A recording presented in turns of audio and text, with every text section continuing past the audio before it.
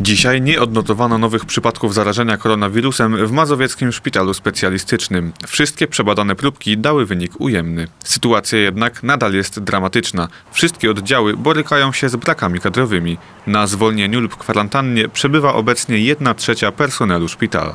Mamy problem z relokowaniem pacjentów z wynikami dodatnimi, którzy potrzebują hospitalizacji. Y, Szpitale przeznaczone do opieki nad zakażonymi koronawirusem nie przyjmują pacjentów.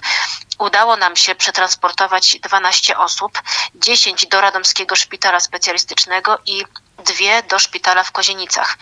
Relokowaliśmy również trzech pacjentów z wynikami ujemnymi do pionek. W związku z tym musimy wydzielić oddział, na którym będą przebywać tylko i wyłącznie pacjenci z potwierdzonym wynikiem testu na koronawirusa. Zarząd szpitala pracuje już nad tym. Szpital apeluje o pomoc wolontariuszy. Poszukiwane są osoby, które pomogą personelowi w opiece nad pacjentami, w karmieniu pacjentów czy dostarczaniu im paczek przygotowanych przez rodziny. Nasz apel o pomoc w ramach wolontariatu spotkał się z dużym odzewem.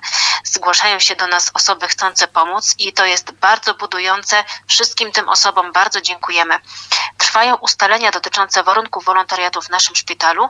Będziemy o nich informować osoby, które zgłosiły chęć pomocy. Głównym problemem szpitala jest zaopatrzenie. Potrzeby stale rosną, a pomoc płynie głównie do jednostek wcześniej wyznaczonych jako priorytetowe w walce z koronawirusem. Nieustannie potrzebujemy środków ochrony osobistej. Od wojewody mazowieckiego otrzymujemy śladowe ilości.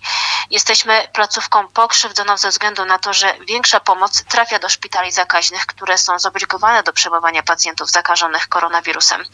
W związku z sytuacją, w jakiej znalazł się nasz szpital, potrzebujemy znacznie większej ilości środków ochrony osobistej oraz wsparcia finansowego na zakup tychże materiałów oraz sprzęt. Tylko wczoraj w Mazowieckim Szpitalu Specjalistycznym potwierdzono 93 nowe zakażenia koronawirusem.